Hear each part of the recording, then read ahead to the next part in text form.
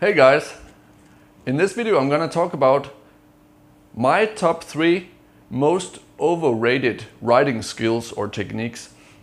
And these opinions are just opinions, but they are built on watching and coaching hundreds of people from all over the world on different skill levels, uh, mostly intermediate riders.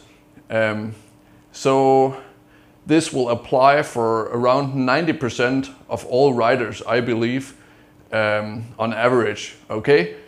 So these skills that I'm gonna talk about, they may be perfectly good and very important steps for high level or pro riders in some cases, okay, or in most cases for pro riders, but they will not make a whole lot of sense or they might even damage your riding technique overall as an intermediate or entry level rider. So let's jump straight into it, okay? We're gonna start from the bottom and up. So um, number three on my list, the third most overrated skill is eye work. Like where do you look at the track when you're riding, especially in the turns, okay? So a very overrated um, instruction or technique I've heard uh, or seen people try to apply is to look far ahead into the turn, okay?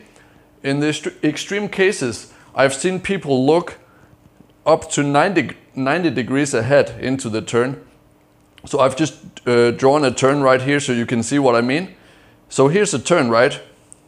You're coming into the turn uh, from, from here. And let's say you're right here at the entry of the turn, okay? Then I would say it makes the most sense to look around 45 degrees into the turn. So when you're entering the turn, you're looking at the apex where you're planning to sit down anyway. Um, transitioning to sitting down and getting on the gas, then your brain has a nice plan for that.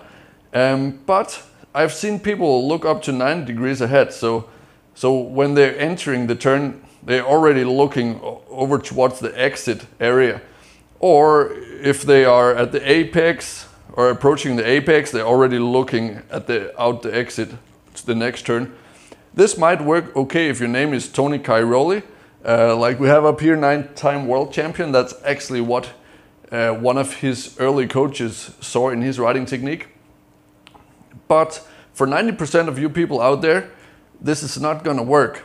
And the reason is that in motocross, unlike street riding or MotoGP, you have unevenness on the track. It means you have ruts, you have bumps um, and holes on the track, okay? So you need to look no further ahead than you are 100% sure where your front wheel is going to go through, which line your front wheel is going to ride across the berm or the turn or whatever kind of turn it is. So that means if you're not high enough level to know where your front wheel is going to go through on the track, then you're going to get a lot of surprises. If you're looking like um, like uh, 300 feet ahead and you have no idea what holes and grooves and ruts are coming up next um, to hit your front wheel, um, then you're going to get a lot of surprises all the time. And that means you're going to um, probably get thrown off balance and lose control. So the only reason why pro riders or high level riders are able to look further ahead is because they have already read the track and they have predicted how the bike is going to um, act through that line that they already know the bike is going to go through exactly and that will allow them to look further ahead. So looking ahead is a gradual process um, that you can work your way um, up from 45 degrees and then further ahead over time. Okay?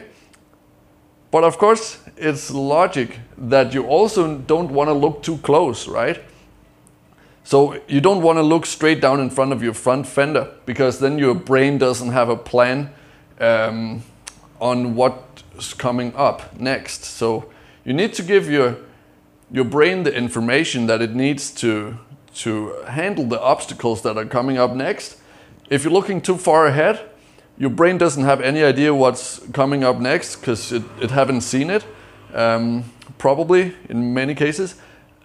And the same applies if you're looking too close right in front of your front fender. your brain also doesn't have a plan for what's coming up next because you haven't looked up far enough to see it. So around 45 degrees, looking ahead into the turns is like um, a good balance uh, amount of looking ahead, okay? So that was number three. And I'm also gonna make a top five underrated skills that actually is tied in with this stuff here. And I'm maybe gonna put a link to it up here. In any case, thank you for watching and see you on the next one.